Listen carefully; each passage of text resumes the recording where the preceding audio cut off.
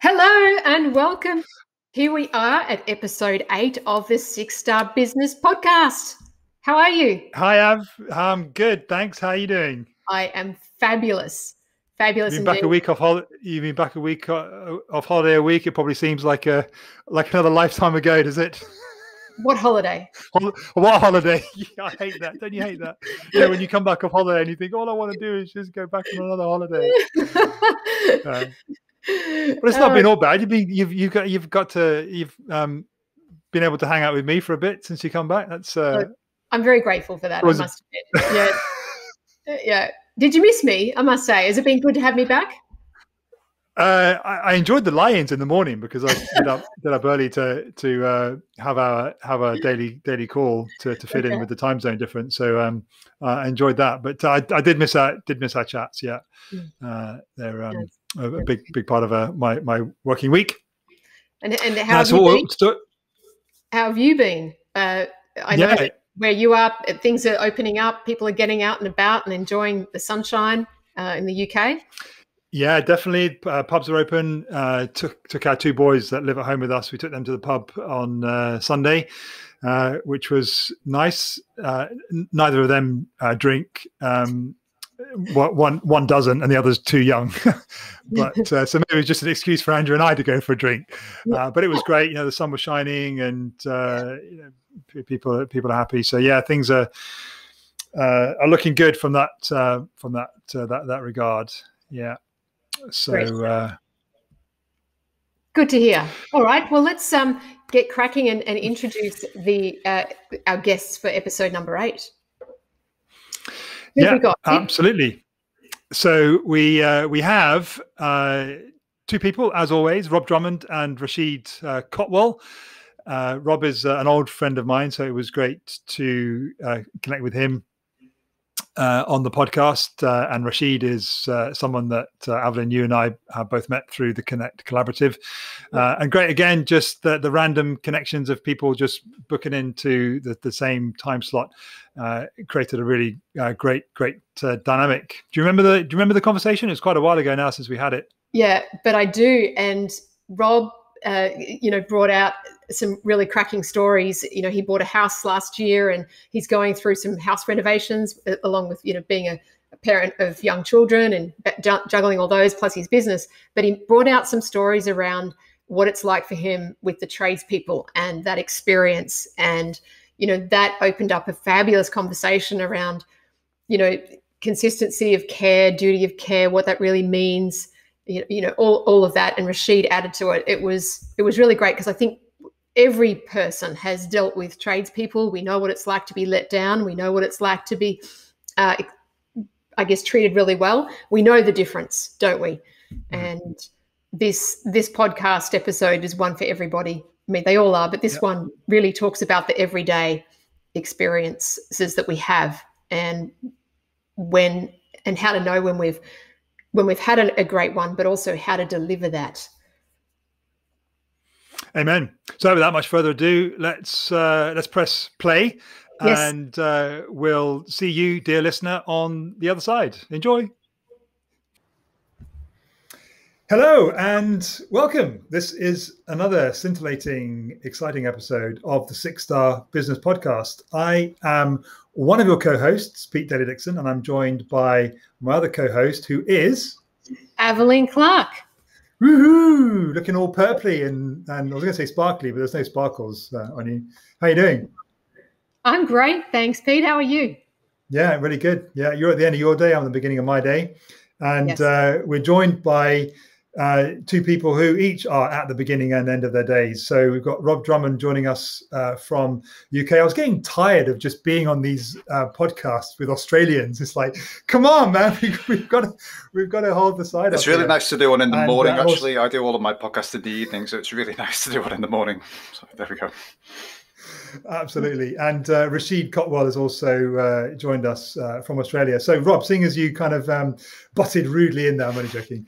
Um, uh, getting a contribution off to off to an early start. So, um, Rob, who who are you, and where are you, and um, what are you yeah, doing? my name is Rob Drummond, uh, based in Sheffield, Northern England. Um, I've got a business called Story Copywriters. Uh, so essentially, I teach email marketers how to write stories that sell, and then map those stories to appropriate places in the customer journey quite quite a sort of long and winding road to get to that point. I've um, I've basically done every digital marketing job you can imagine to varying degrees of competency. Um, and I keep coming back to I keep coming back to CRM, I keep going back to copywriting. I've had uh, stints in other other media, um, done a lot of Google ads and paid advertising as well. So kind of pulling all that together. Um, but yeah, my, my thing is sort of helping people tell better stories about their work. Fabulous. And uh, and it is fabulous. Yeah, and he's very, very good at what he does. Um, give, us an give us and our listeners a, an insight into um, you know Rob the the family man. Oh yeah, so I have a I have a three year old and a one year old at home. So we had a lockdown baby last year, which I do not recommend under any circumstances. not only that, she was born two months early, so oh, it's it's it's been a right ride. Um, so yes, yeah, so I, I just I'm at home a lot, which I'm grumpy about, but perhaps perhaps perhaps we won't, we won't open that kind of worms right now. Um, yeah, I do um, do bits of barefoot running um, in the summer when it's warmer um, on grass. There's a there's a story behind that. I'd um, had shin splints when I was younger, and yeah, went to all sorts of physios, and um, I was told all sorts of things. And uh, one guy basically said, "Well, you know, you basically never see Kenyans limping off a running track. It's because they grow up barefoot and it develops the lower leg." Muscles. And I was like, well, actually, that makes sense to me because that, that gets back to core principles. So I've been, you know, on and off running barefoot since then. Um, and um, yeah, it just sets a good foundation for everything else. Cool. All right, it's great to have you with us. And uh, Rashid, welcome to the Six Star Business Podcast. Who are you, you, and how are you?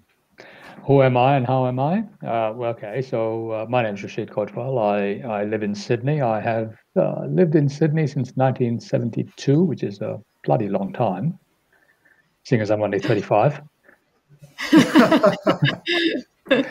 Uh, for the last, uh, uh, so I'm married. Barbara, my wife, is Swiss German, so I know where my bread is buttered. Uh, I have uh, two children. One is um, turning 32, two boys. One is turning 32. The other one's turning 20, 28. Yeah, 28. Yeah, one lives here. We'll, we'll, we'll, we'll edit we'll edit that bit. So like, there's no there's no pause. It's just we'll just. Uh, for the last 20 years, we've run a practice in the area of uh, business growth, uh, focusing uh, primarily on uh, marketing, and then now our focus is on sales. So, helping organizations who sell complex products and services, mainly services, into larger corporations, shorten the sales cycle and and win more deals, because everything happens when somebody sells something and everything else is on some level superfluous. Try saying that fast. Uh, yeah. Unless you can sell, you can be great at delivery, but not much will happen. And uh, that was our journey as business coaches back in the day when we used to say, okay, let's put it in systems, let's do all these other things, but they didn't actually sell anything. A big lesson for us. Great. Well, I um, I know that both uh, Rob and Rashid that you're your contribution to the ongoing conversation, which uh, Avril and I uh, started. Um, well, the conversation around six star business actually started back in September, was it? When we kind of just uh, one of our calls and um, we were talking about customer excellence and how some businesses just seem to always get five star ratings. Um, and what is it that separates five star businesses from a two star business? Uh, and then you're thinking, well, if there was a sixth star available, what what would be required of a business to uh, to get that uh, that six star rating. So uh, ho- hopefully that that sort of context, if you like, of the conversation is uh, is clear uh, to you. Um, and, uh, and both of you, Rashid and Rob, will have um, heard about the six star business context before coming on the on the call. Um, and I, I'm always interested and curious at the at the beginning of these conversations just to to find out uh, what what it was, if you like, uh, about the, the concept of a of a six star business when you first uh, heard it about it either from from Avelyn or, or myself. Uh, that that kind of grabbed your attention enough to want to come on a, a, a podcast. Uh, and maybe you're just a podcast junkie. I don't know. That's fine too. But you know, if if there was something that grabbed your attention and held your interest long enough to come on this podcast with us, um, I'm curious. What what was it? I can Rob? I can speak to that. Yeah. So um, we also moved house last year, and consequently, we're, we're, we're trying to get tradespeople around to the house to do all sorts of bits of work. Trying to get people to come around to the house to quote for work, and then to even just follow up on those quotes um, and just provide any level of decent experience. I've found utterly sparse in the last 12 months. So actually, how, how do you go about building a six star business instead of I would regard as not even a one star business, which is what a lot of people seem to be doing because because it's often that these people are credible, skilled tradespeople. It's not that they it's not that they can't do the work. It's all of the stuff around that is the systems and the and the follow up and the quotes and all of that kind of stuff. That to me is the quality of the experience. So I thought, yeah, perhaps that's perhaps that's something we can sort of drill down on. Yeah. What about you, Rashid? I think uh, I'd agree with Rob. I mean, it's almost impossible to get a tradesperson to uh, to turn up when they say they're going to turn up and actually do the job and actually finish the job half the time. and so I it's think, a global uh, experience, and not just the UK. Oh, it's. I think it's a worldwide experience, frankly. Uh, you know, people just uh, have no sense of customer service, and I think um, you know my my take with a six star business is is a business that uh, is customer centric, uh, without being a doormat. So you can serve, but not be a servant. And uh, and I think a lot of the attributes, certainly for me, of being a six-star business is your level of communication with your clients. You know, do you communicate uh, at the right time in the right way, the way your clients want you to communicate? And I think Rob and you know anyone who's experienced a tradesperson who, who doesn't turn up and doesn't communicate and whatever knows exactly what that means when that doesn't happen. I'd even accept a lower quality of work if they actually just turned up and did it. But yeah, yeah, 80%, 90% is usually good enough. But 0% isn't.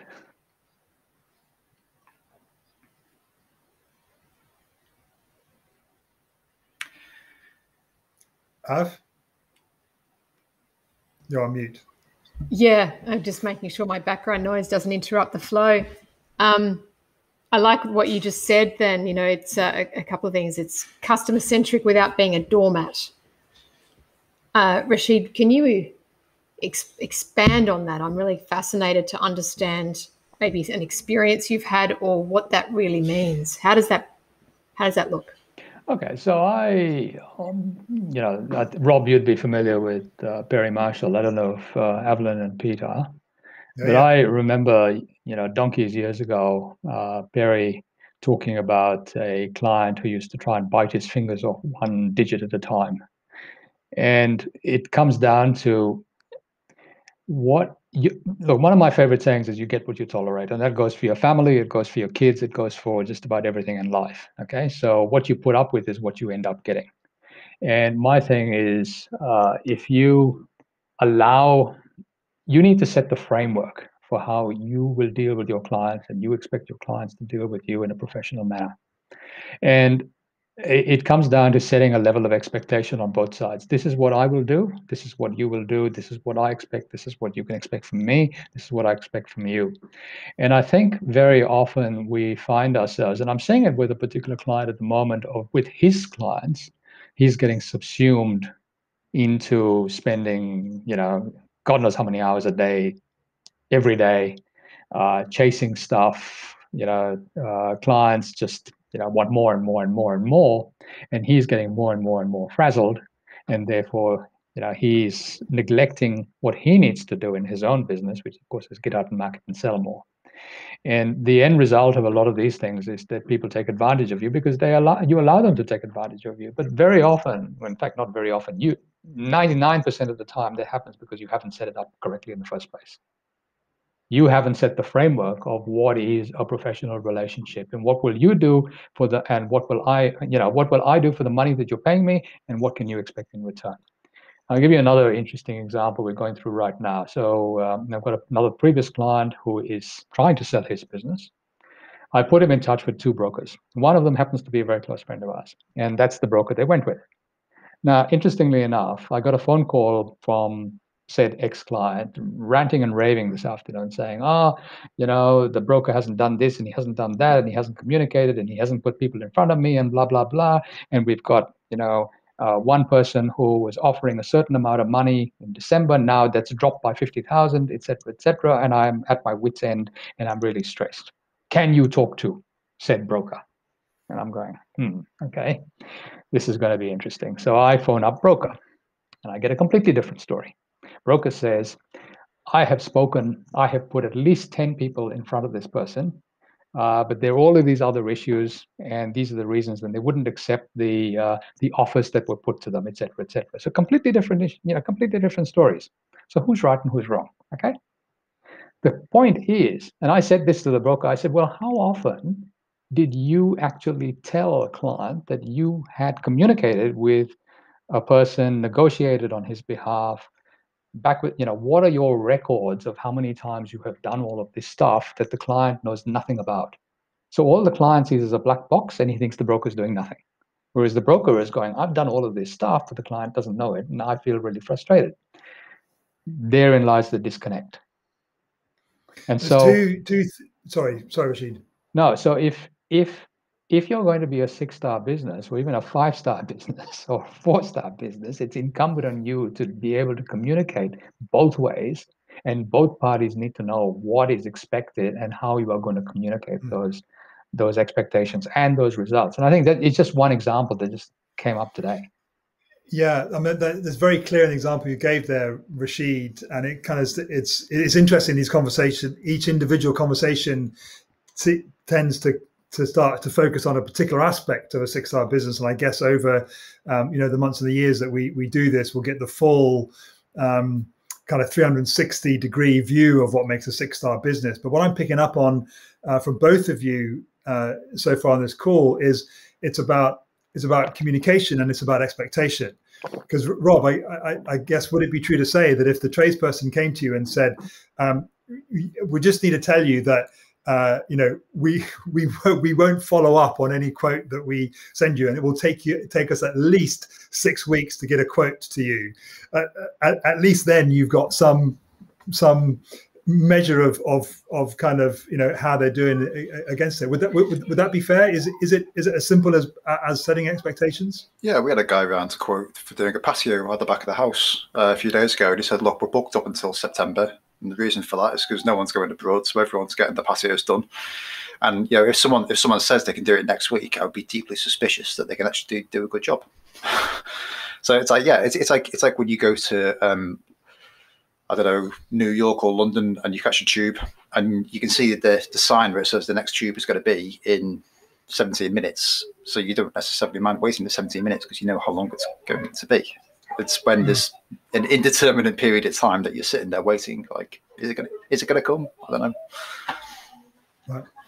And would it be fair to say that that simply meeting expectations is is the, the mark of a six star business, or does it does it need more than that? I think I think I think it's one aspect of it. Um, I think it probably ties also to sort of repeatability? Is it a one-off? Are you doing it? Are you delivering a result consistently? Are you gathering the testimonials? I, I think ultimately it ties to reputation. And I think reputation has become a big leverage point um, now that you know Google reviews are so important. Now that we can access many more you know potential suppliers, it's like well. Yes, what experience to provide, but is does that translate into your reputation? Because that's ultimately something that's leverage like leverageable as a business asset. I think I think uh, any business needs to meet expectations. I mean, surely that should be a given. it's what you do beyond those expectations. I think that uh, that come in. Uh, here's here's another example. So, uh, I was talking to uh, a, uh, someone in another community we belong to, and she said uh, she just moved out of, out into a small country town outside an hour out of Brisbane, and she had the pest controller who she used to use for years in Brisbane um, come out and do the job. And he and once he'd sprayed the house, he said, "Oh, let me show you something." He said, "Come and have a look at the hinges on the bathroom door." And he said, those hinges on the bathroom door are actually different to all the other hinges in the house. So that if somebody gets trapped in the bathroom, you can literally lift the door off the hinges, even if it's been locked from the inside. And her response to this was, wow, that is something that he did not have to mention. He could have just sprayed the house.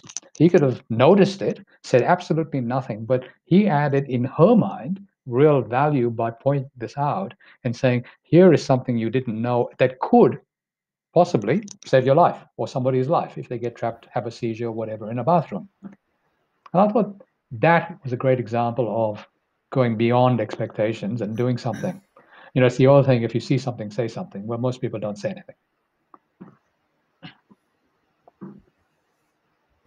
That's brilliant, um, Rashid. It, it makes me think it's a, like it's about giving without expectation because that man he was prepared to provide more of his knowledge and expertise which was outside of like you said the spraying but it was also something that was going to help her yeah and the corollary is she said listen i'm going to ask him even though it's an, even though he is an hour away i'm going to ask him rather than to come back the next time rather than some local mm. in the area Absolutely. so he keeps the business now, yeah. as long as he's happy to come up he's going to keep the business so it's about building loyalty. I think six, you know, the six star yeah. business is is about going beyond what you would normally be expected to do and doing something unexpected that says people go, oh wow, okay.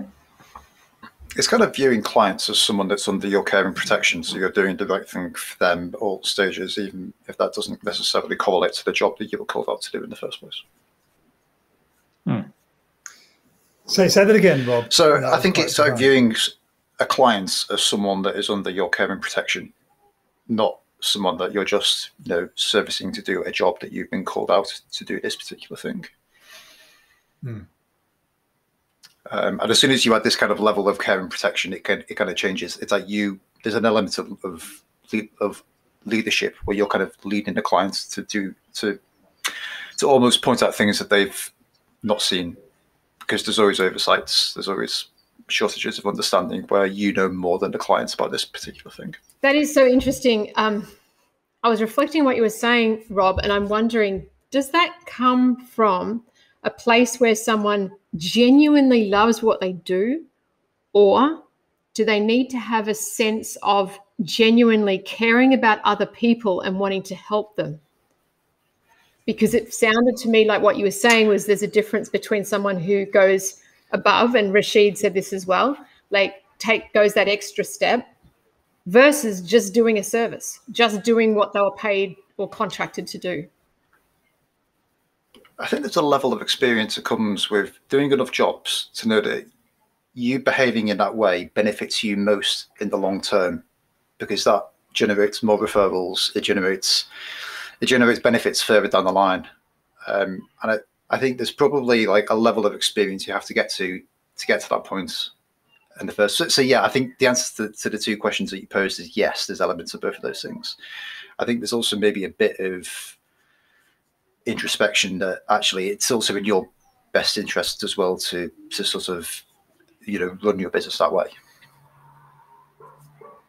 I mean, I am. Um, I, have got various examples of this. I mean, I I was um, I worked as a Google Ads consultant for a long, long time, and um, very, very easy business to get into.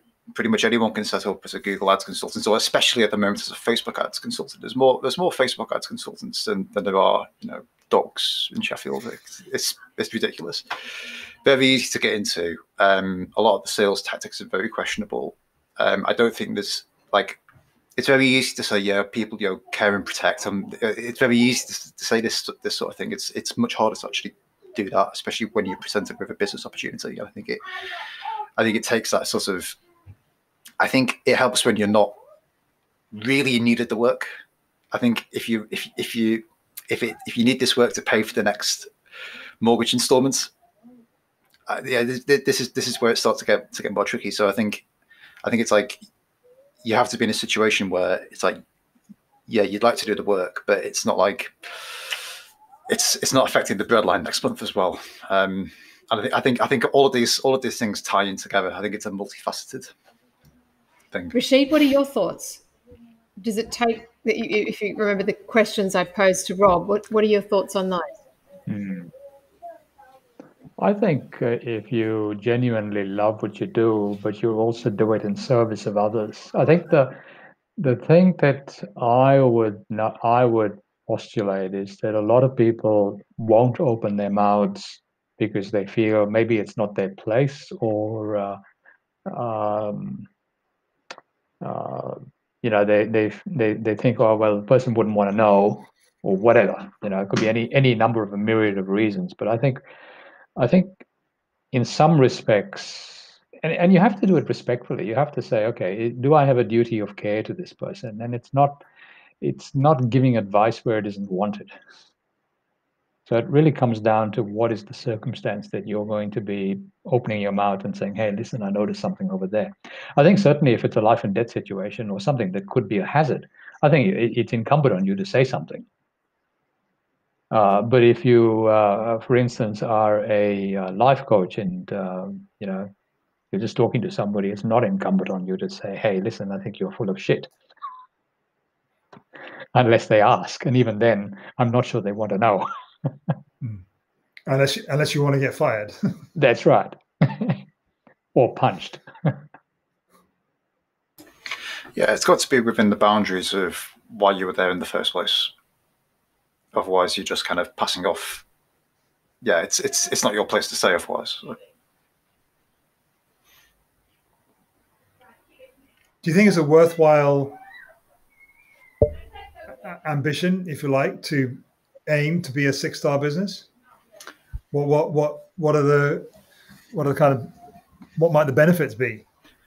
Well, I I I mean for for reasons I sort of said earlier, I think I think there's real benefits in terms of reputation and building a long-term sustainable flow of new business leads because people know that you provide that outcome uh, consistently. You know, so, something we talked about last last year a lot, Pete, was obviously as as it's easy to to provide a repeatable experience and, and so on on a small scale. But as soon as you scale it, as soon as you bring on you know members of staff, like this is where all of these things fall apart. Which is where you know like a lot of the work that you've been doing with, with your systems is, kind of ties into that. It's like how, how how do you scale up the experience? You know, that's that's ultimately what probably McDonald's have done better than anyone anywhere um, in, in terms of achieving that.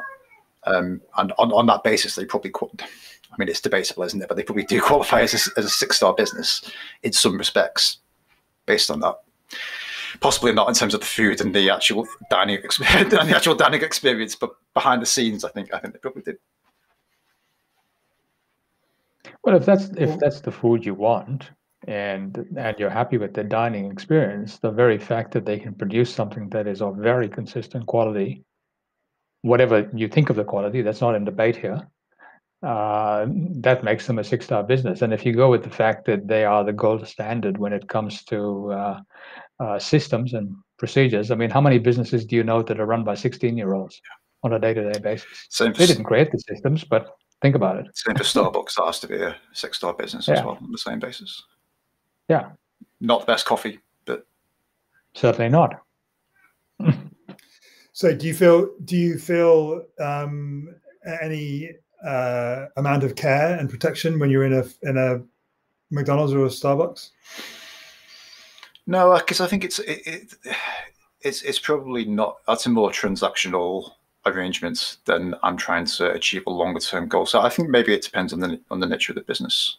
I think for someone like, you know, probably in our worlds more so where you're kind of working with, you know, potentially a software client or a single client over a longer period of time, then I think all of these factors of care and protection probably come to the fore a lot more. Um, if I'm buying a coffee of someone, then yeah, I mean, there's obviously elements elements of that, but um, But I, I, think fundamentally, I want I want the experience to be good. To, to, be good, I want the product to be good, and I want it to be repeatable and consistent. Um, even even when I go to different outlets of that store in different city, in different cities around the world. That, that okay, that's, so that's quite a big challenge, I think. Yeah, that, that is a big challenge. But let's let's just say you keep it local and you and you like your particular coffee shop, whatever that coffee shop is, and the barista knows you by name, and and every time you walk in, he he or she says, "Hi, Rob," um, usual makes the that's, usual, that's and it's, it's the same. Yeah. yeah, and it's the same quality every time because uh, uh, you know they know what they're doing, and and uh, the new owner didn't come in and change the coffee beans and therefore change everything thinking that we was going to get it at a cheaper price. And I've seen that happen. So, you know, what was considered to be a very successful cafe where had, you know, loyal following, owner changes, uh, decides that uh, he doesn't want to pay whatever he pays to, you know, for those quality supplies and the quality people. So first the people leave, well, the supplies change, then the people leave, and then the customers leave. so I think keeping keeping the standards uh, can be very difficult, especially if you're growing. Now, that's very keeping the standards relatively easy for us as practices because you know I'm the practice. You know, I do the work. The the danger comes when you stretch yourself too far, and then you start going, okay, well, I don't have time to do the things that I used to do for people. You know, so as an individual, how do you scale? Hmm. I know you have a no, go on. I was just going to say, even as an individual, if you're off, if you're trying to do too many things, and I've, I've fallen foul of this. Yeah, it's, that's right. That's what it's I mean. trying to do copywriting. It's trying to sell Infusionsoft. It's trying to, it's trying to manage the Google ads. It's trying to manage the Facebook ads. It's focusing with the websites. It's arguing with the web designer. It's like, why am I doing all of this stuff? This is not a good. this is not a six star experience for me or them no. or for them. So. No, then you've got to figure out what is it that you do really well and stick to that and then have other people do the other stuff. But then you've also got to make sure that that quality is being delivered, especially if you're going to project manage this stuff. Hmm. Av, I know you've got a story just um, circling back to McDonald's and whether there's care and protection involved in that uh, that you wrote about um, in uh, the chapter of the book that we collaborated on. Yeah, relevant to. Yeah, thank you for bringing it up. I I was thinking about that. So I worked at McDonald's as a young lady, like young young teenager, and I became yesterday. Yes, of course, just a, just a couple of years ago, and I became a manager at 17, 17, about that, and was a manager for two or three years. So I worked at Macca's for about five years, and one of the early experiences I had was in on McHappy Day. You've probably heard of McHappy Day around the world, mm-hmm. and it's a big day in Australia because all of the stores they kind of compete, and some of the bigger stores get celebrities in to kind of serve people on the front tills and all that kind of stuff to try and boost boost numbers. It's all about you know raising money for Ronald McDonald House, and uh, which is charity here, and our store loved it. You know, we did lots of promotion, and um, I think there was a celebrity who came in in the evening. But this one day, I was a young girl, and I was told you're going to be on the front till on McHappy Day. So that in itself was a big deal, because you had to be one of the best in, in the store as, a, as an employee. So they had these internal mechanisms to drive performance even higher from these young 14, 15 year olds. 15, 15, 16 year olds. So we were driven. There was co- competitive nature to it, first of all. And we also knew that we were always going to be judged externally by mystery shoppers who would go around the store and buy the product and everything once a week. So we always knew that there was someone watching, listening, and we would be rated accordingly. So come McHappy Day. So, so these are just some of the levers that McDonald's use. And of course, there's all their staff training and all of that kind of thing internally. So McHappy Day came and I hated beyond uh, a beyond a passion the whole you know upsell. Would you like fries with that? It was something ingrained. We all have to do it. And on a happy day there's a manager walking up and down and you know running around and everybody had to make sure you did it. Otherwise you could almost get a warning like literally that's how strict it was. So the lines there's six tills going six registers. The lines are back to the front door. Of people come the rush hour at lunchtime and i'm doing my thing you know it's just rote like you know, saying the same words, ringing up on the till, running to get the stuff there, you know, serving someone. And it was very robotic and it was pretty much, you know, a, a race. Anyhow, something clicked in me because I started to get really sick of the whole would you like fries with that? And people just go, no. Nah. They don't even listen to the words because people know what's coming. They know you're going to say it and they just tune out. So in this book that I contributed chapter to, um, that Pete mentioned, I mentioned how I, I kind of decided in that moment that the, with a, with a line back to the door, I was going to do something different. And I decided to just pause a little bit, look in the eyes of the person I was talking to, smile, and, and say something a bit different. I didn't want to use the same words because as, as a 16 year old, I still knew that the words meant something. They were really important. So if I used the same language that everyone else did, it would be ignored, wouldn't be heard. You know, the would you like fries with that? Would you like a drink with that? So I use different words and connected oh, eh, eh, you know, we've got some fries. I can't remember exactly the words I used, right? But it was different language to, would you like fries with that? It was something else. Like, we've just got some new hot fries, nice and fresh. Would you like some as well? Just to add to your meal. Something like that. And I found people started to say yes. And I'm like, crap, this stuff works. And, and I didn't really understand what I was doing as a 16 year old. I just knew that I was doing something different but I started to notice the person in front of me rather than seeing them as just another number. Because McHappy Day, with that many people, the whole goal was to get the maximum number of people through those tills. And what they also do on the on the registers, there's a button, there's an upsell button. So when you upsell someone, you actually press the upsell button and enter what you've upsold. And that way they track what people have upsold. So at the end of the session, they know exactly who's been on what register and how much you've actually actually upsold. So at the end of the next day or whatever, they did all the tallies of the numbers, and you know we made it. We broke a record of sales that that day. And someone tapped me and said, "Oh, Aveline, you you you broke the record, or you you got the highest upsell vo- um, volume of the day." And then there was a big round of applause and all this stuff, and I'm like, "Wow." But the difference was I made a point to say things differently and show that I cared. Even though I was a little bit slow, it took a you know a few extra seconds in the delivery, but it worked. Do do do you think, um, Robert? I, uh, I know you got a question there, but do you think it's to do more to do with the different words, or to do with the fact that you you connected with another human being before before you actually said said what you said?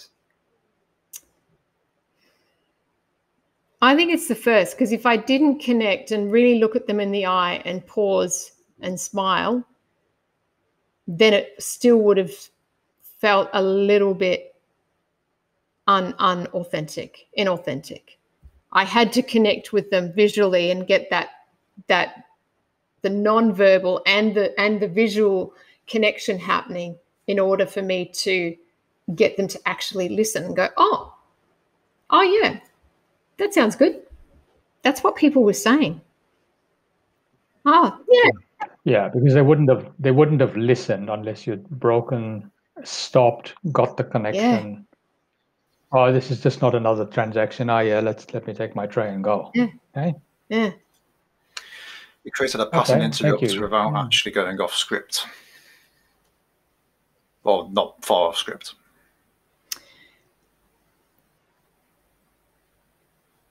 Nobody noticed that you had gone off. Oh, but no, the managers script. didn't notice. There was just mayhem.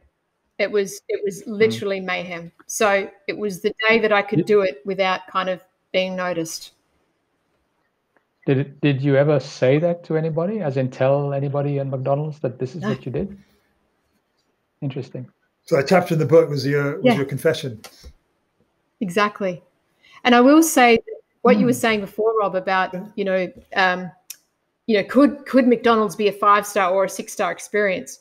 And I think because McDonald's versus another McDonald's versus even a Hungry Jack's or another place that has coffee or burgers, you know, on product, it's pretty similar. It could be. Let's just say McDonald's versus McDonald's. So then what distinguishes McDonald's shop A from McDonald's shop B in terms of a six star experience? Uh, the people. The people. Okay, so I remember when when I was a heck of a lot younger, and I used to go and uh, uh, have um, uh, chicken McNuggets for lunch. God help me. Okay, probably ruined my health. Anyway, that's another story. But the, there was one particular young lady in the McDonald's in Chatswood that I used to go to. She would look at me and she knew I liked fresh hot fries, and I would not. I would wait for them if they weren't ready. Okay. And she would put in just a handful for me when she saw me. That to me is six stars. Okay. She didn't have to do that. It's probably completely against McDonald's terms of service, but she did it. Yes, that's right. I, I it, it resonates beautifully because she cared, and so you would keep going back yeah. because you knew that she yeah. cared about oh, you and back. gave you the yeah. fresh hot nuggets. Yeah, yeah. And then there was another guy where I used to have uh, a kebab, and he would always put in extra meat when he saw me. Mm. To the point where I was actually saying, "Look, I actually don't want extra meat because the damn thing falls apart. But I know you, I know you want to value my loyalty." so it was, it was really quite funny and quite ironic in a way. But I mean, this is what people do when they actually know who you are and they they notice yeah. and they remember. Yep. And that happened 40 years ago. All right. So we're not talking. Mm. And I still remember. It was just interesting that that this this conversation triggered that because that that happened a long time ago. There we go. And you still. So you can you you you, you yeah you can have it seems to be that you can have that care well certainly care if not protection even in a transactional environment and it just with, what rashid said just at the end there reminds me of that that saying that um, pe- people forget what you what you say but they remember how you made them feel, made them feel. Uh, and, and and there you go like 40 years on from an event you remember and you can probably picture the guy's face can you? Yeah you can, i can and i can picture the girl more, the, more or less i can picture the girl yeah. Yeah. And doesn't that lead into what rob was saying earlier about the google reviews? Because isn't it don't we rate people on how we, they make us feel largely or do we i'm interested i think it's based i mean it depends a little bit on the service, doesn't it? But I think I think mostly it's based on the emotional experience that's that's connected to your dealings with them. You know, we're mm. far more compelled. Um, I I do not leave many reviews uh, on products. Just I, I'm I'm just not a reviews person. Like some people are. Like some people will sift you lots of reviews. For me, like the bigger the purchase, the fewer reviews I read, and the more I just go with gut feel. Um, but I am. Um, I, I did review I did review one of Perry Marshall's books last week. Is a Facebook ads book, just because I, I, I felt like they'd obviously taken extreme steps to point out potential problems that maybe often weren't even to do with the Facebook ads platform. It was to do with funnels and other things that were related. It's like they didn't have they didn't have to put any of that in the book. But uh, ultimately, from reading the book, I felt cared for and protected. I guess. Mm. So I, I went to left a review, um, and I, I I hardly ever do that. I, I, think I've I think I've left like three reviews ever on on, on Amazon. So yeah, I hardly. I, am I'm interested. Uh, I hardly ever leave reviews, but I certainly read them, especially for yeah. a bigger purchase. Yeah, I'm the same. Um, just just as we as we coming to the end, Rob, I am interested in because your your the work you do with clients tends to be before they've before they've become a client, and it's you know we, we, we, can all at some level understand how to engage with a with another human when we're delivering our service and we can you know provide that the, the kind of care protection you know what um, the communication meeting exceeding expectations all that we've talked about um, when we're kind of in that that uh, that environment um, but can, can, you just talk uh, a, a, little bit to um, how to where where you're where the where the um, I'm I'm in this state again, Evelyn, where it's clear in my mind what I want to ask, but it's not. I think I think. I know what you should have asked. Um, and I think so. Yeah. My work is really for people with longer sales cycles, and it's a trust-based sale. It's not just I'm nipping into Starbucks. Um, and in that situation, like you can't just go straight to the sale to find out if it's a good if it's a good experience or not. Um, so a lot of the work that I do is helping people tell their story so that by the time, so I guess my my story behind behind this is that when I first set up a business as a Google Ads consultant, I did various things to get clients, but one of the things was I created a lead magnet on my website. Um, it was called How to Waste a Thousand Pounds on Google AdWords in No Time Flat. When people opted into that, they had the, an Aweber email sequence. There's about 14 emails in that sequence that told stories about me, anecdotes about how I got into this. And I had two types of clients. The first type of client was people who just found my website, they'd rung me up um, or booked you know, my TimeTrade as it was as it was then. They wanted to know how much I charged, what my hourly rate was, and just on, often I had one guy on the phone who just wouldn't accept that I didn't have an hourly rate. it's like, it's like you must have one. um, the other type of client was people who'd opted in for the lead magnet, sat, sat through the email sequence, and eventually decided, yeah, I trust this guy. I'm, I want to I'm ready to have a sales conversation. And those people already felt like they knew me to some degree. The sales conversation was a lot less stressful. We weren't they weren't asking for references. We were just working out, you know, is there a project to be done that's mutually beneficial and just working out the arrangements. Uh, so it was like it was like the red ocean was dealing with the people who just stopped, who just found me, and the blue ocean with no sharks in the water was people who'd actually had the stories and sat on the email list for a little bit. So it was it was a slower sale but much nicer clients to work with. So, so what, what, what do you get from that, Av? That people want to create connections and they want to feel understood. They want to feel a connection with someone and, and feel that level of trust and empathy and knowing and understanding before they make a commitment. Because if they're if they see this as not just a transaction, but as someone that actually is going to help them achieve something that's meaningful to them, then they will ensure that the person they entrust to get them to their goal and to, to get there is someone that understands them and that they like and trust. And that can take mm. a bit of time, especially if it's a bigger ticket price, depending, you know, and especially in what Rob was talking about. So it comes down to human to I'm, human uh, experience. Yeah. I'm, I'm, I'm glad I brought it up because uh, all the conversations we've had so far have really been in within the context of delivering a service to someone who's decided to become a client. Uh, but but actually, this is there's a recognition that that six star experience has to start.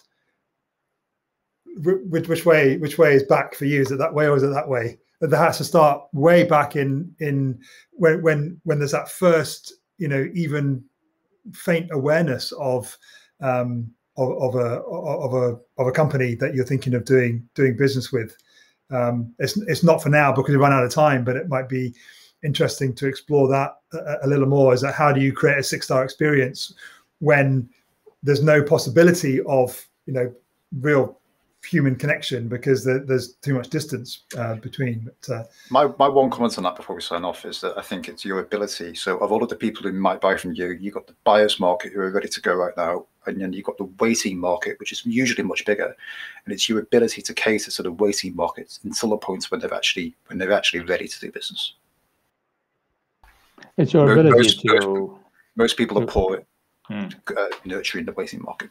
Exactly. It's your ability to educate that market uh, without expecting anything in return, but moving them into your orbit, if you like. You know, most people have linear sales funnels, but if you think of it as an orbit and people orbit around you, and sometimes they come closer and sometimes they move further away, and sometimes they come really close and become clients, but you don't know when that's going to be. And you have no control of that in that one statement, Rashid, you, you just became Rob's new best friend. he, hate, he, hate, he hates linear, just even the, the the the, concept of linear funnels, just com, com, hates it with a passion. Um, so that, that's great. Av, any last um, last words before we before we sign off on this fascinating conversation? Well, I've well, my other no, sorry, go, Rashid. The the other amorphism, if you like, is I don't care how much you know until I know how much you care. And I mm. think, uh, and then there's the platinum rule: do unto others as they would have done unto them, rather than how you would like to be done unto. Yeah, yeah. Th- th- those the trouble with those uh, amorphism is that what you what you call it? Mm. Is is they're so well known that they become ignored. They're like the the the do you want fries with that uh, that you were talking about about earlier. And yet, when you actually stop and listen and really hear the the the the, the, the full intent and meaning of of just those two things that you shared there, Rashid, um, that's that's what it's all about. You know, yeah, and, and you've got to understand before being. You have to live it. You can't just say it. You have to live it. I mean, you yeah. really do have to care. There's no yeah. point otherwise. I mean, people see through it. You know, they see yeah. through the superficial salesperson, glad handler, used car salesman. You know, press here, sign here, press hard three. You know, press hard the three copies. Doesn't work. Yeah. Have any last words? Love it. So there's so much gold in this. Be authentic start the journey early and be, and be human and authentic. And taking both what Rob said and what Rashid just said is begin that early on and allow the orbit to flourish.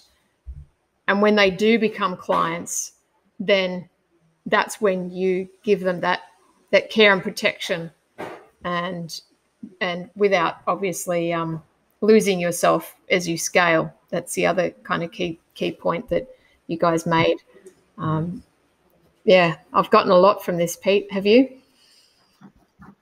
I have. Yeah, I'm glad you're there taking notes. I am so grateful uh, for your for your insights tonight, both of you. I I love yeah. these conversations. I never know where they're going to go, how they're going to, you know, uh, evolve. It's kind of like life, and and a bit like the customer journey. You know, we don't know when someone's going to uh, become our customer and come on the journey with us. And you guys happen to come here tonight with us and or this morning with us. And I'm just really grateful. So thank you. Yeah. Well, thank you. Me too. What, what, what I've said. yeah. So, uh, yeah, it's, it's good night for me and it's good night from her. Wow. Hey, Pete. So, wow, what a what a great episode. I I, certainly love a good McDonald's reference, um, being a Macca's chick yeah. myself in my teenage years. But yeah, did that take you back? Did that take you back? Did. I had that memory of memories, nightmares. McHappy Day, you know, lines to the door, you know, just trying to turn them over and pack those bags with the burgers and the fries. It was it was fun. Um, was it interesting Know what you do now, though? I mean, that, yeah. that was really quite quite a almost like a formative experience for it you, was. really getting that insight into the yeah. human connection. Yep. And I had no idea at the time. I was what 16 or 17, and yeah. I didn't know, but I, you know, logically, I just knew that the that the way to connect and and make a better sale was to create that human connection rather than just being a robot and following the process. And yeah, what what a great grounding for me. Who who would have known that you know all these years later I'd be sharing this and teaching it and preaching it uh, and running yeah. this podcast. Not not not not that many years later, surely. Yeah. Oh, only a few. Forget the well, fact listen, yeah. So but, yeah, so um, th- thanks again to to Robin and Rashid, and uh, just in terms of connecting, uh, one of the things that we'd like you, dear listener, to do is to connect with us in some way, uh, even if that's going to uh, Apple Podcast, whatever, and, leaving us a review. Uh, click the ratings. If you want to click five, that would be great. Although we can't, we're not supposed to ask for it. Uh, and if you want to email us at podcast at sixstarbusiness.com as well, tell us stories about uh, any six star experience that you've got. Uh, if you can think of, uh, if if you if you want to be part of the conversation yourself, or uh, you want to make an introduction to us to for someone to be a guest on the podcast, that'd be that'd be awesome. Thank you so much. We look forward to meeting with you hopefully one day soon. And uh, thank you for the reviews. Uh, have a wonderful six star day.